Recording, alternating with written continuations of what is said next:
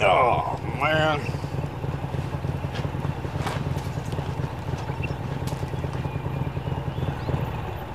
I don't like needles. Now anyone can own a Harley Davidson, so why not you? Win a Harley Davidson Fat Boy motorcycle, a Ford Harley Davidson F-150 are up to $100,000, in the Ticket to Ride Scratchers promotion from the Missouri Lottery.